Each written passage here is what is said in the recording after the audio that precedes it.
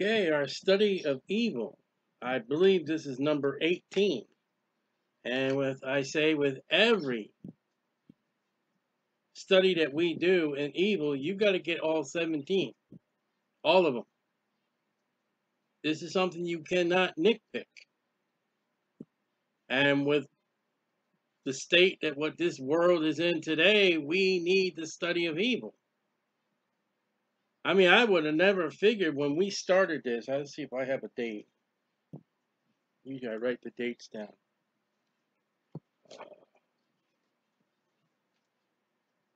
when we started this on January 16, 2020, January 16, 2020, I would have not assumed all the evil that we've had happen to us worldwide. Coronavirus is an evil. Coronavirus is not a sin. I believe it's a consequence of God because of man's sin. And that's evil.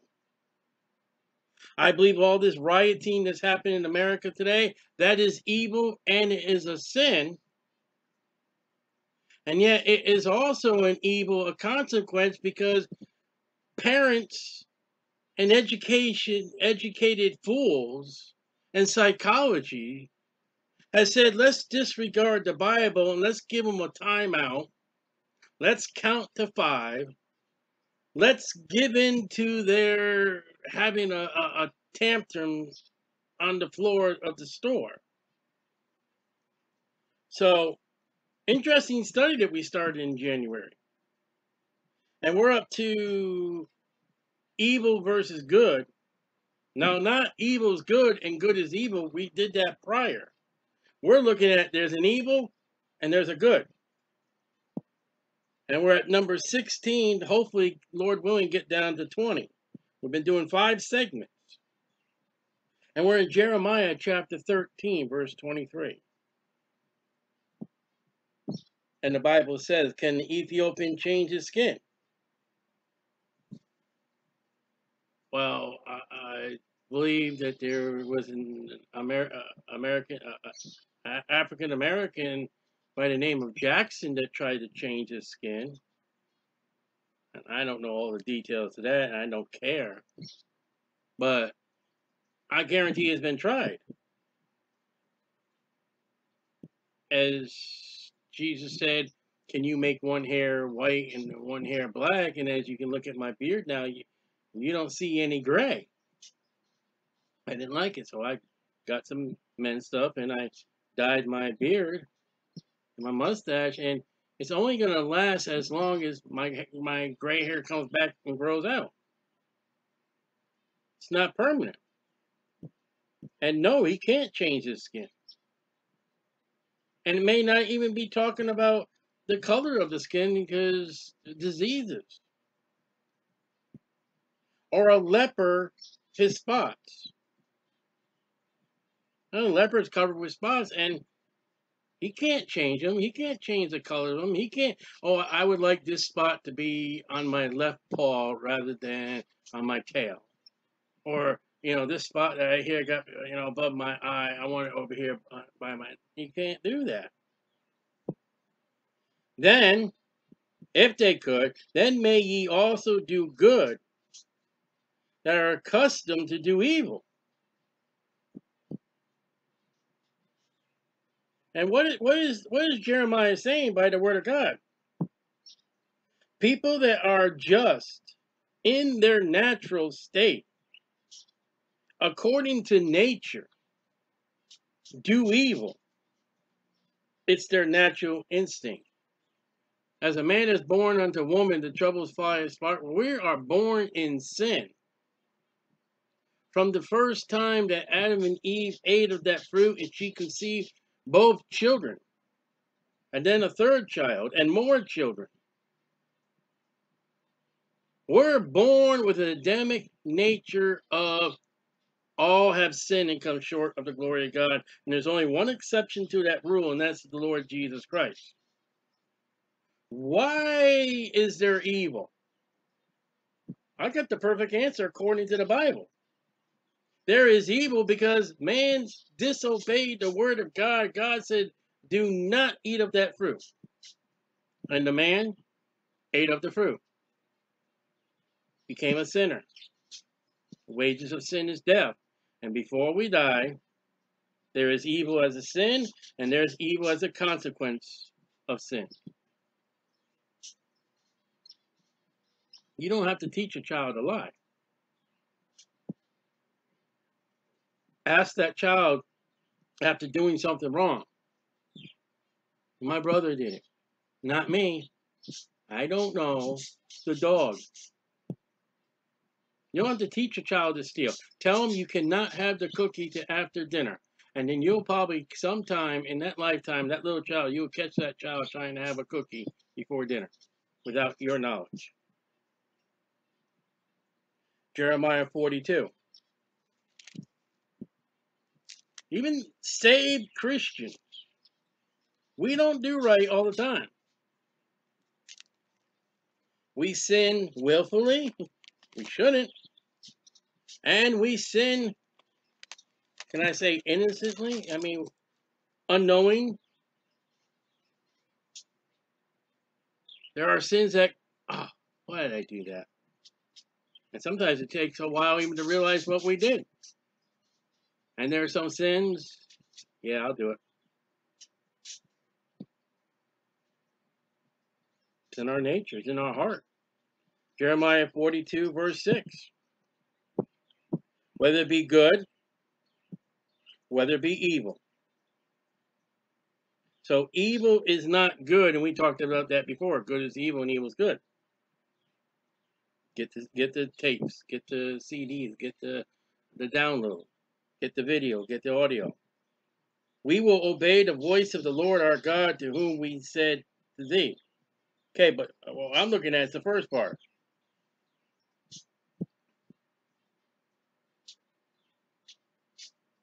Whether it pleases us or pleases not, we're going to obey God's word.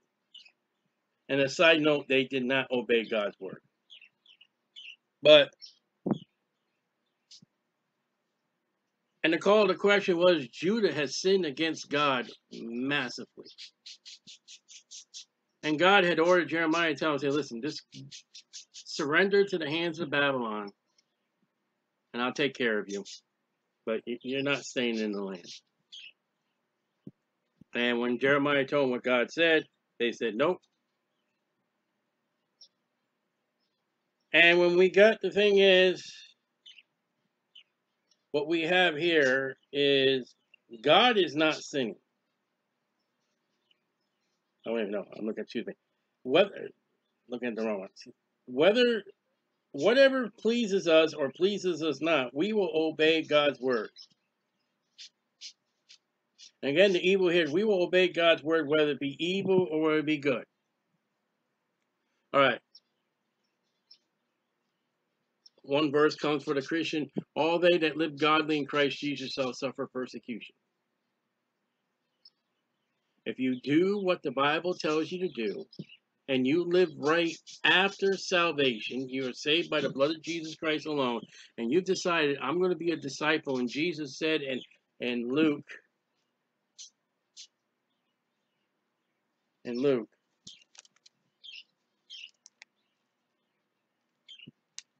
chapter 14. If any man come to me and hate not his father and mother and wife and children and brothers and sisters, yea, his own life, he cannot be my disciple. And Jesus said, Know not, know you not that the world hated me? John writes to us, Know ye not that, uh, that the world hates us? All right. What would be the evil of, of being a Bible believing, serving Christian? You're going to be hated and it's not going to feel good and you're going to get evil. You're not going to get the promotions. You're not going to be liked.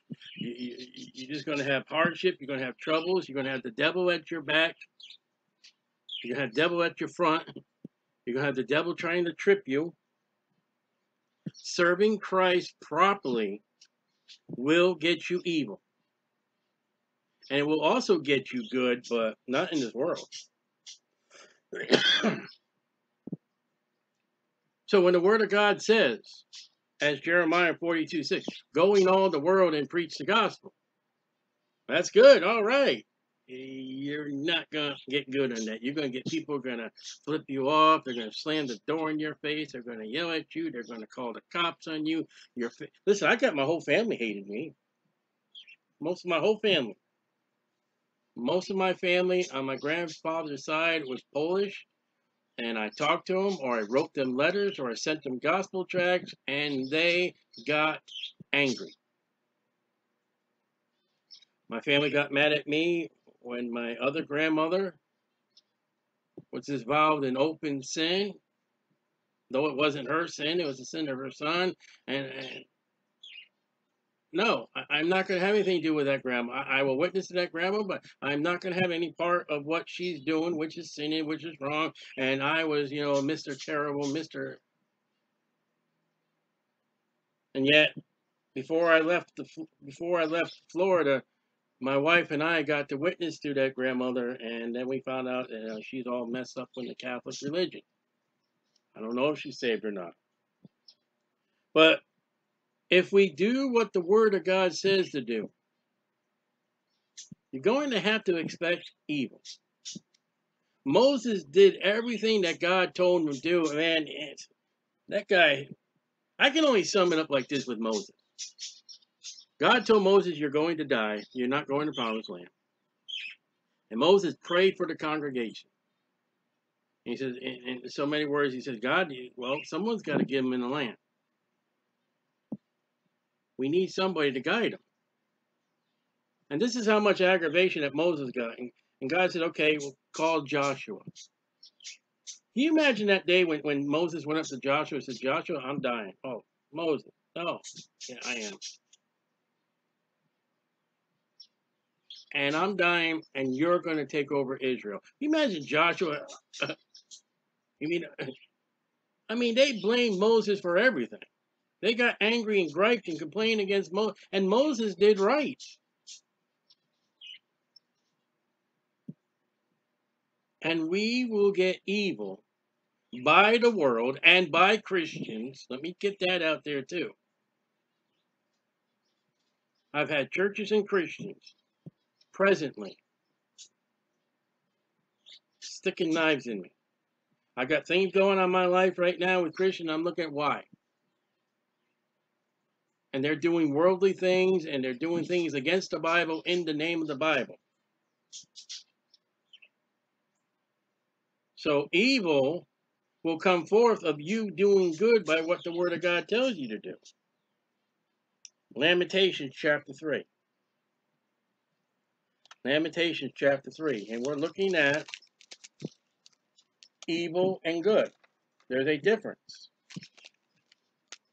Go back you know, where evil is good and good is evil, and that was an interesting study.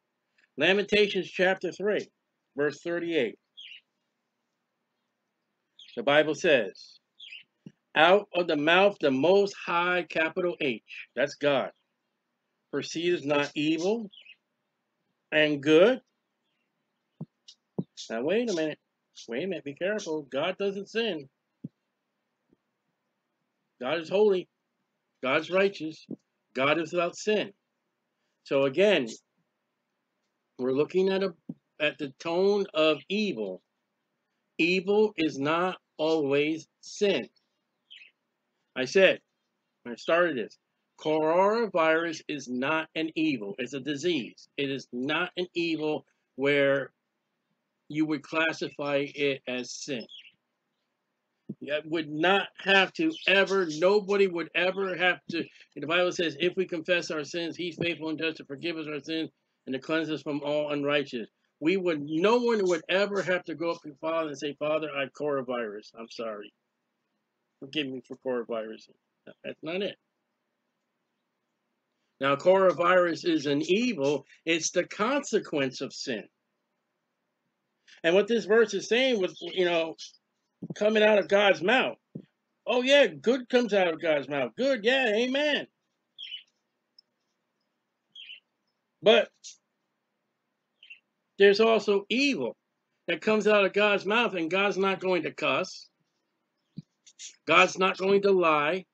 Where the Bible says in four or five places, He cannot, will not, and is unable, and never to lie. And yet there was evil pronounced against Sodom and Gomorrah for their sins. God said, "Let the let the fire throw." There was evil pronounced upon the sins of Job when he allowed the devil to say, "Okay, Satan, go, but but stop there or stop right there."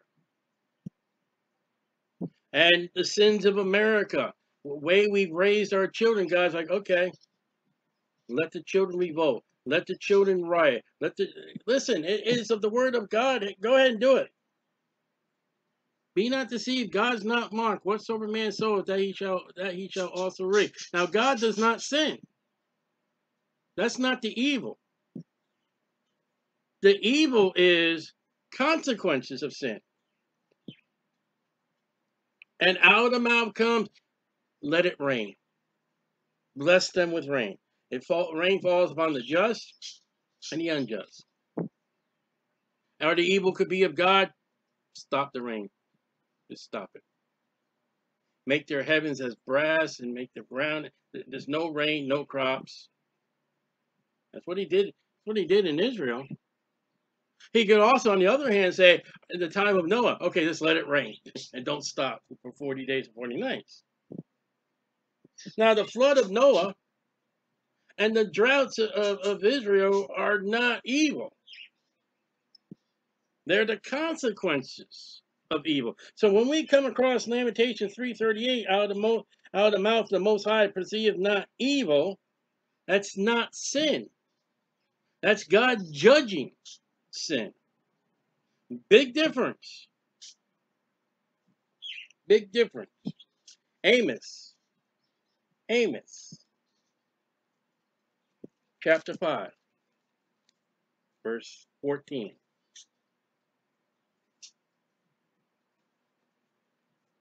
Amos 5:14.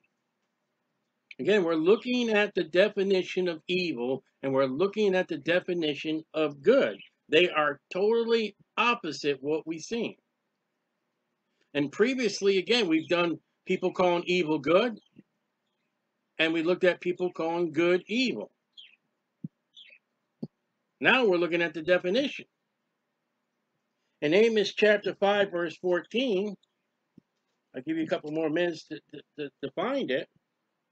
Right after Joel, there is a standard of the Bible for definition that we need to get correct. Now, listen, we can't run to the education system and we can't run to the media today to, define what words are. They don't even know what words are because today in the education system, in the media, the Bible is not closed, it's glued shut.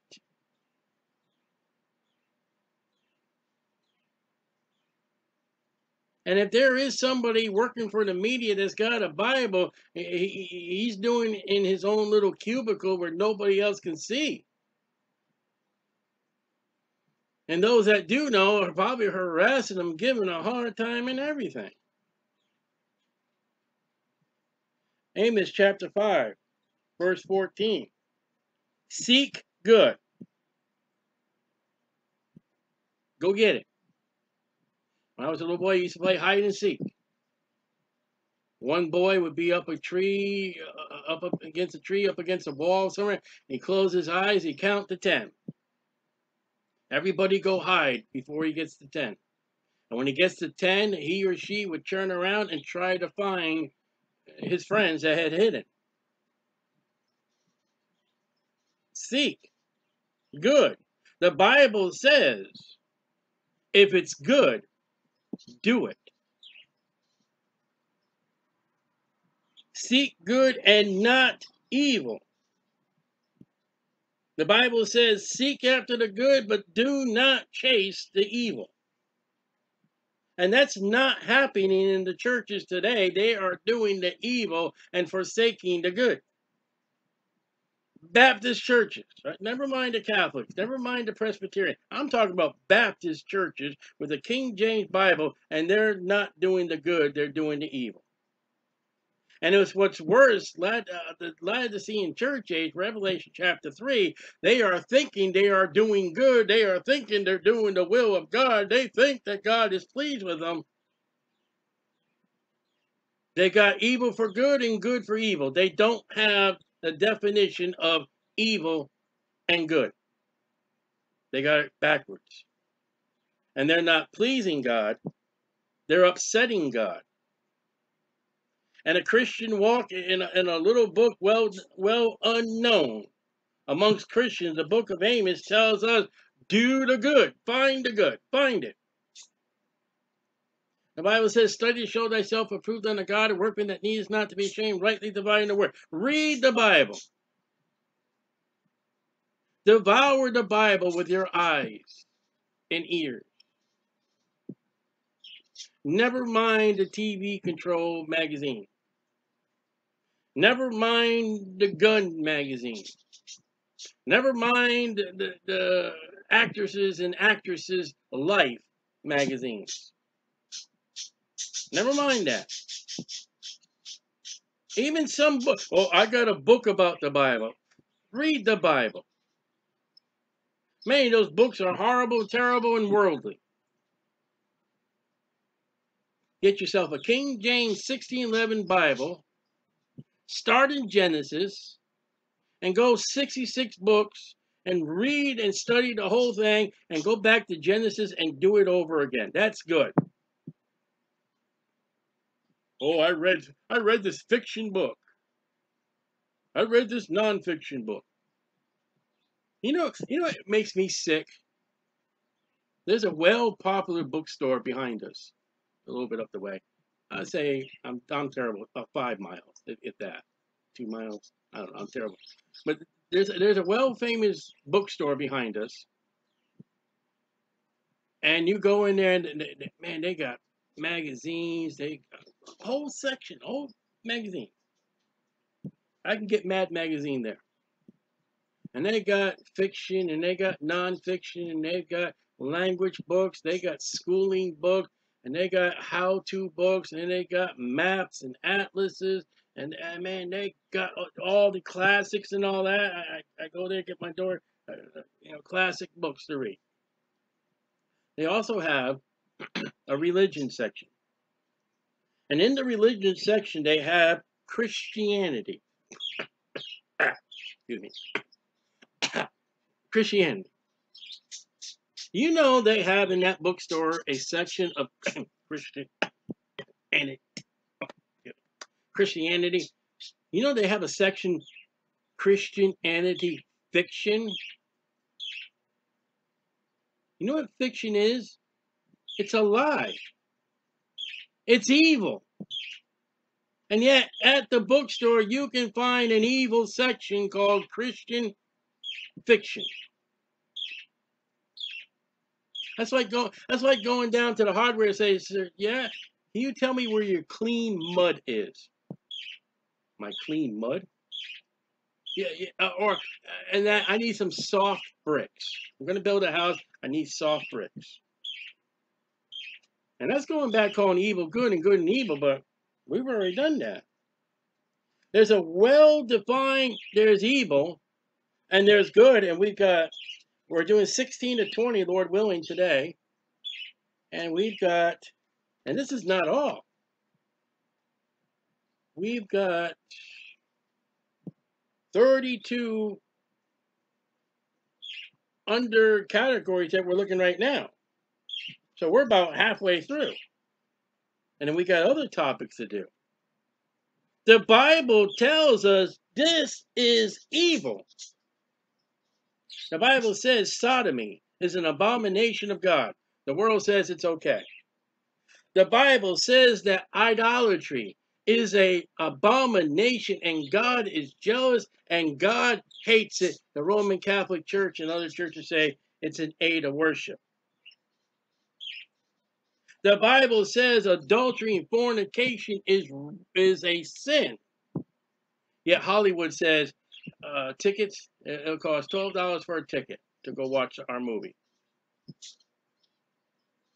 Christians have not identified themselves that this is evil and I ought not to be doing it. And the churches are also practicing not telling its congregation this is evil, this is sin, and this is what we're supposed to be doing, and this is good.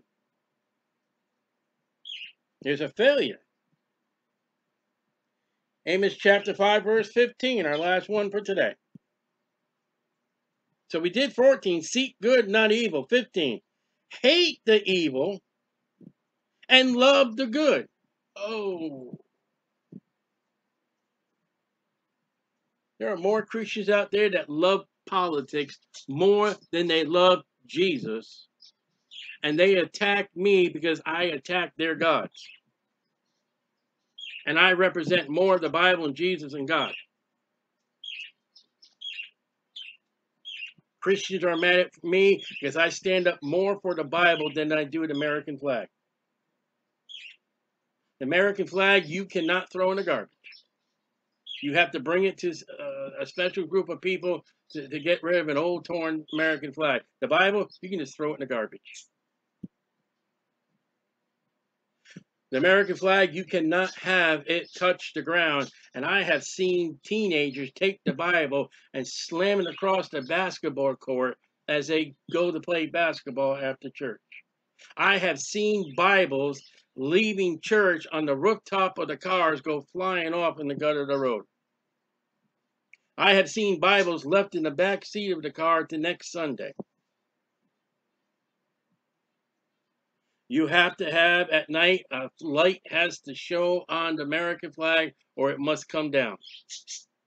And yet there are pages like the book of Amos we're reading right now that some people's Bible, it has not ever, ever, ever, ever, Amos has never seen the day of light or a artificial light. You see, I got a light right here. My Amos and all 66 of the books of the Bible that I read and study throughout the year have seen light. And yet they love the evil. I love people going around the circle 400 times. And they do it on a Sunday, but they love Jesus. Why is it on a Sunday? I have heard Christians throughout my testimony since 1987 when I was saved. Well, we can't go to church Wednesday night because our TV show, the semifinals, are on Wednesday night. Why is it on Wednesday night? And why do you love the evil more than you love God? It's a simple command. If it's evil and the Bible says it is sin and it is evil, hate it. And yet the world tells you, oh, we ought to have love and no hate. Erase the hate. And when I stand on the street corner, and I've been standing on the street corner coming up six years, when I stand on the street corner in Daytona Beach, Florida, at the flea market, at the farmer's market, and I preach the gospel of Jesus Christ. They hate me enough to hire a, a DJ. They hate me enough to get a, a, stereo system. They hate me enough to call the cops. They hate me enough that we got to get lawyers. They hate Jesus.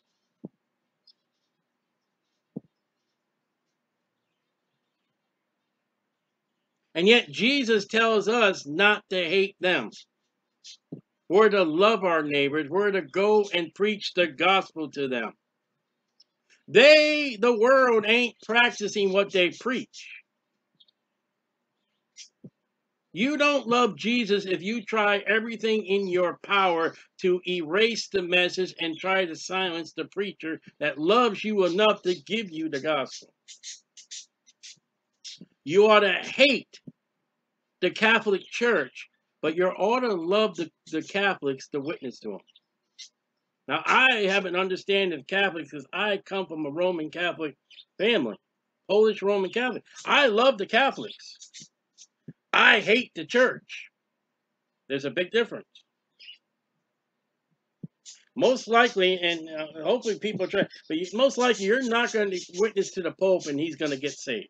Most likely. But hey, all things are possible with God. I hate the Mass because it's, it, it goes against what the Bible says. The Bible says it's an abomination to eat blood. And when you ask a Catholic, are you eating and drinking the literal body and blood of Jesus? And their catechism, I grew up in it, yes, that's evil. So what do we find today? We find in Jeremiah 13, 23, it is our basic instinct to do evil. All have sinned and come short of the glory of God. Why did why did he why did he do this? It's his Adamic nature. That's why he did it. And then, if we're going to do what God says to do, Jeremiah 42 6, in this world we might get evil coming back to us. All they that live godly in Christ Jesus shall suffer persecution. We're going to get evil. We're going to get good at the judgment seat of Christ. We're going to get crowns and inheritance. But you're not really going to get so good down here. I mean, people will pat you on the back. People will shake your hand. People will encourage you. Yeah, that happens. And then we have an evil that comes out of the mouth of God. Lamentations 3.38. And it's not a sin. It's God saying, judge them. You want to smoke cigarettes? Doctor? Yes, Lord. Tell them they got lung cancer. I'm telling you, you got lung cancer. That come out of the mouth of God to put that cancer in your lungs for the smoking. The, the, the, the man that, that consumes alcohol, that's a sin too much. And God pronounces out of his mouth, your family's ruined. Your job is ruined your body and health is ruined. That's not a sin. That's judgment. And then Amos 5.14 says, seek good, not evil. And you're only going to find the good between the pages of Genesis to Revelation. And I have people all the time, you know, what's the Bible say about tattoos? Well, in the law, God said you're not to print marks upon your body. We're not under the law. Yeah, but the law, as a school teacher say, that's what God thinks about it. And if you look at the history of tattooing, it was doing it for the dead. Are we to worship the dead? No. And then finally, Amos 5.15. Hate the evil and love the good. And the world and the media and television and churches today are completely opposite of what that is.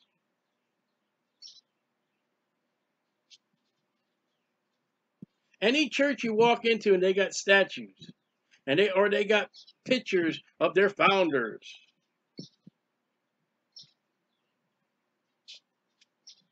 That's evil. The Bible says it's evil. So that's our study of evil and good today. This is this is number 18. Go back and get 17, 16, 15, 14, 13, 12, 11, 10, 9, 8, 7, 6, 5, 4, 3, 2, 1 made a rapture happen.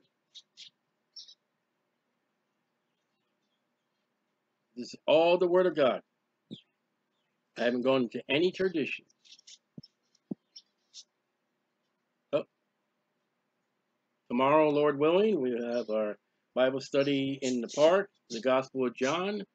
Lord willing, be uh, Moses and Elijah. That will be uh, recorded and put out to the internet later on Friday or Saturday. And then pray for us Saturday. Last week, even though it was a rain, it rained out. They had a DJ there. So that does cause us trouble, aggravates my flesh. pray for me with that. Pray we can get the gospel out and, and serve the Lord. And that message will be later on Saturday too. So keep the Hayward Family Ministries in your prayer. Pray. I got coming up in an ear surgery. Pray that God will. Uh, I want a wife.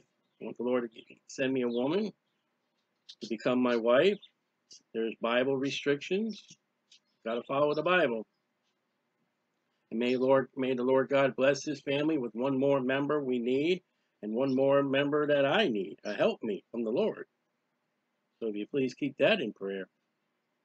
And these videos, share them, like them, subscribe, download and put CD or whatever you do with computer, whatever you can do with it today and give them to your friends and, and enemies and all that. These messages, God knows what it said. So these messages are cut and spliced and used against me, well, God knows what I said. And many people who have heard these videos know what I said.